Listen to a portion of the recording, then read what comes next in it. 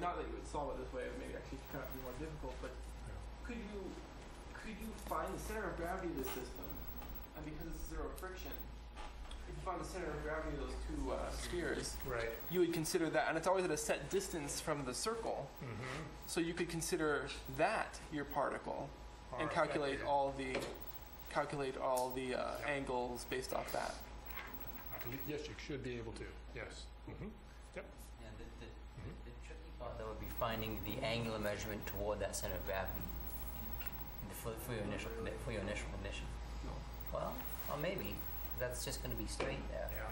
So you the the actually just take the ro- double mass mass M and double M right, and then just do your centroid centroid position between the two or center of mass between the two. Find that location, and then look at what the geometry is on how that would relate to angle theta. Theta plus something. Theta plus something to get you to that center of mass.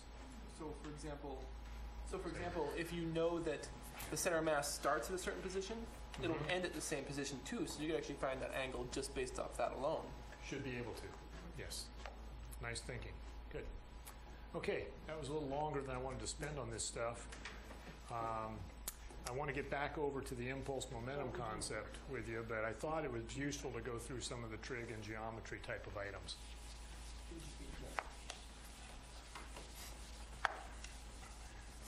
So let's, um,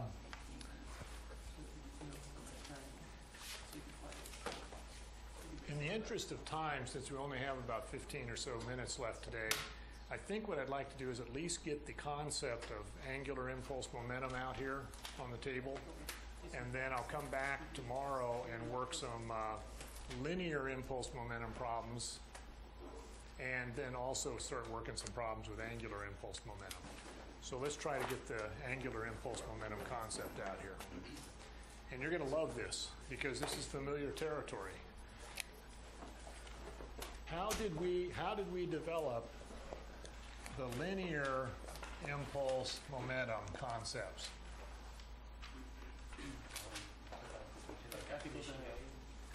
We started with good old Newton, F equals ma.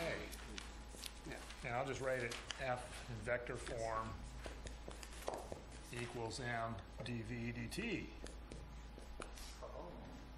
That's the key. Don't forget it. You kick dt over and integrate, and you've got the concept. And remember, these are vector equations. So we get the g2 minus g1, so symbols we're using in this book, that's equal to the linear impulse.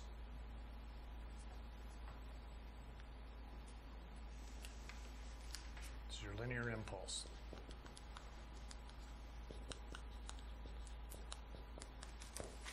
Okay. Now, and remember this is for the system. If, if you have multiple masses, multiple masses in motion, then the unbalanced forces acting create over time an impulse which would then change the momentum in the system, which are those products of mass times velocity. Okay. Angular impulse momentum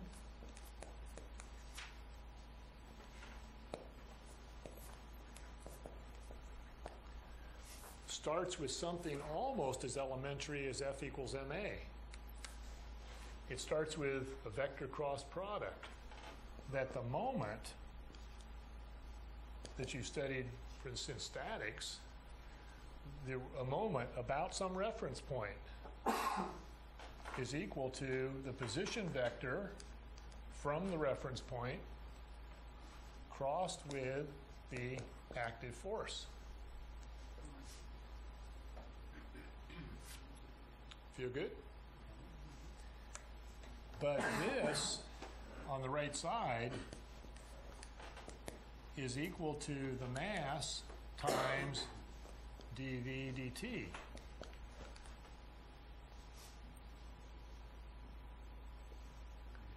If we kick dt over to the other side and integrate,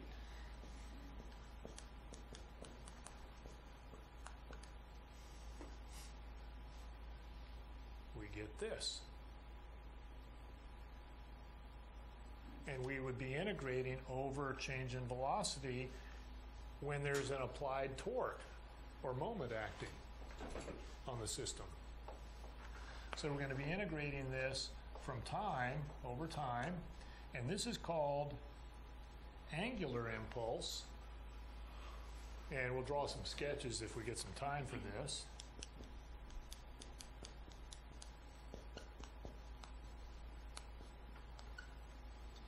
And it's equal to this integral, where we're then integrating over a change in velocity that is imparted.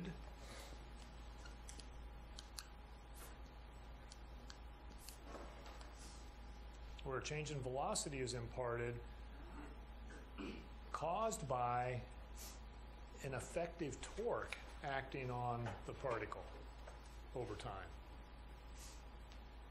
Now let's take a look at that. And actually, let's go ahead and carry this out. What we get on the right side here is R crossed with MV2 minus R crossed with MV1. And in grading your exams, some of you are a little sloppy about not using your vector symbolism. When you're doing impulse momentum problems, whether it be linear or angular, make sure that you use your vector symbolism, because otherwise it doesn't make any sense. what symbol does your physics book use for angular mo- angular um, momentum? You see, you see, there's a lever arm. This is another way of phrasing this is moment of momentum. You see the lever arm there? Moment of momentum. Okay? But we call it just angular momentum for simplicity. What symbol does your physics book use? You remember? Momentum. For angular momentum. Well, I'll tell you what this book uses. they use capital H. Capital H. So this is H2 at when the object has speed 2 associated with it minus H1 and that's equal to delta H. So the angular impulse is equal to the change in the angular momentum. Oh, there is a subscript here needed. There's a subscript that's needed because you have to be referenced to some point about which you're measuring your your position vectors. Your position vectors have to be measured from some location.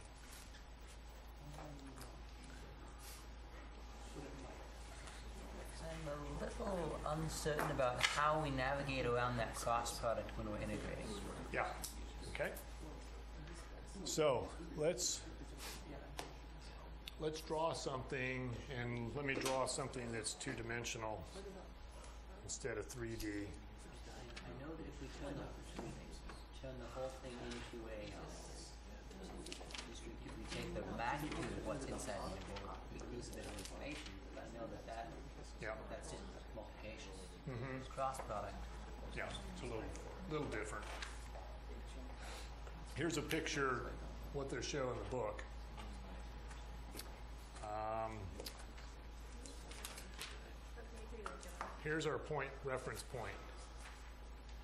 Here's the particle. And here's a position vector to get us to that particle.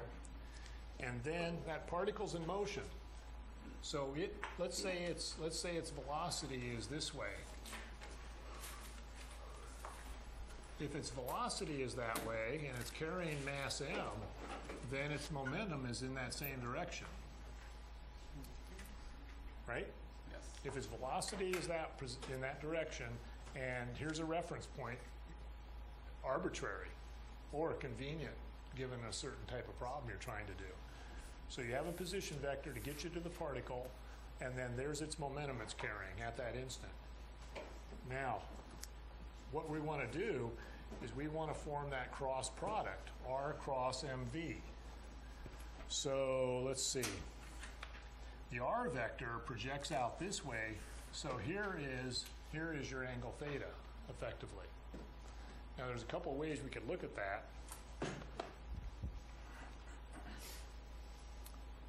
R cross MV is is a cross product. One way of handling it is to utilize a determinant where you have your unit vector elements here. You have your R components in the middle row. And then you have your momentum con- components and you could factor the m outside. I'm just going to leave it in there. mvx, mvy, mvz. So that then you can expand that determinant. And integrate the determinant? Well, actually, this has already been integrated. Oh, okay, oops. Okay. Right there. Okay. So, what is the, and this is a vector, isn't it? Mm-hmm. And th- this vector is orthogonal to what?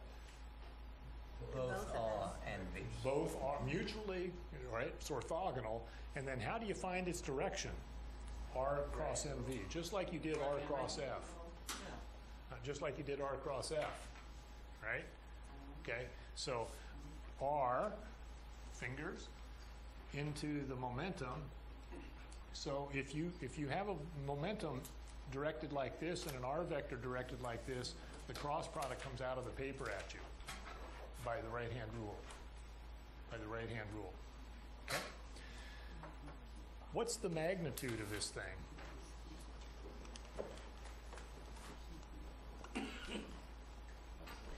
What's the magnitude of the cross product? Product Remember, It's the product of each magnitude. times the sine of the angle.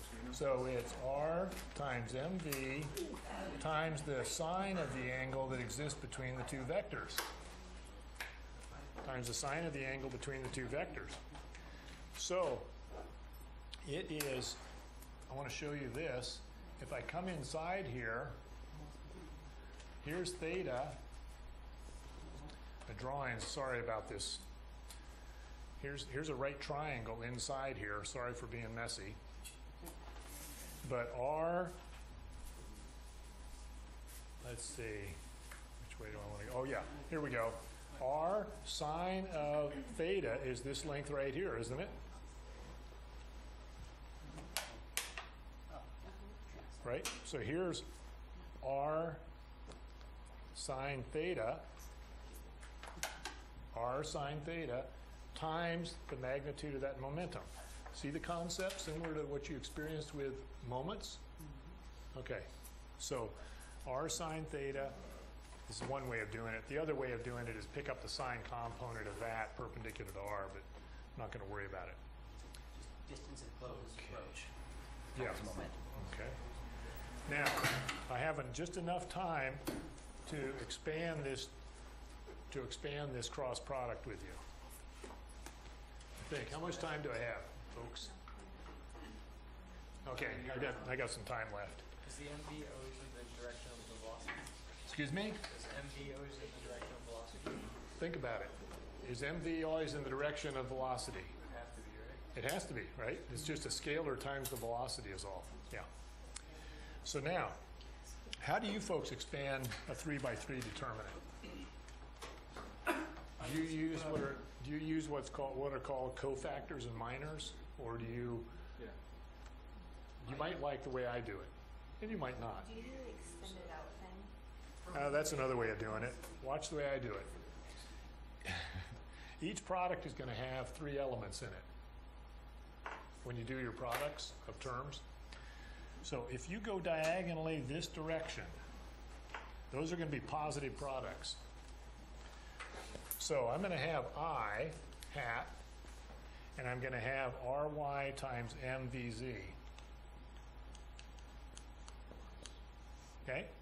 Now, when I go the other direction, oh, and then here's what's going to happen. We're, we're going to keep doing that. Here I only pick up two products when I come off the diagonal, and I have to whip around and pick up a third element. That's going to be a K-directed element. And then if I pick up this element, I have to whip around and grab those two. Right? Okay. Similarly, when I go the other direction, these are then going to be negative products.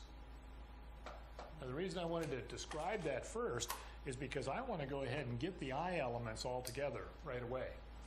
So the I elements are going to involve a positive product of these terms, which is Ry, MVZ. And then I'm going to come this way and pick up I this way, the negative of these products. And I whip around have to grab these two. So it has to be a minus an RZ MVY. That's the I term of the cross product. Plus, now the J terms. The J terms are going to be obtained by coming through here, my positive products.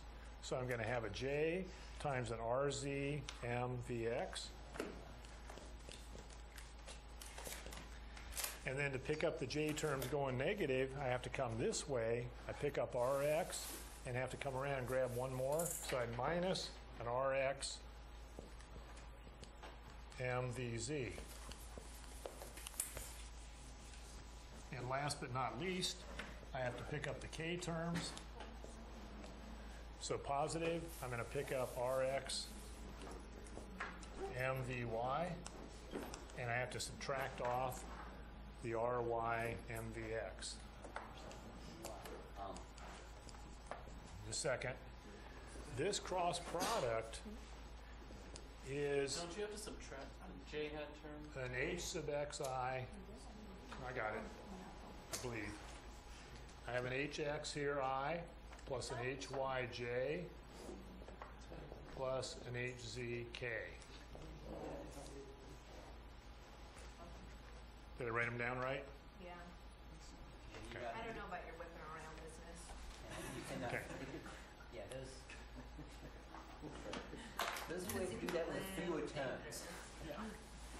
Okay, the idea is, and this, this works for large determinants, you go this way, and you have to come around and pick up the correct number of elements, though. If it's a three by three, each, each pass has to have three elements in it.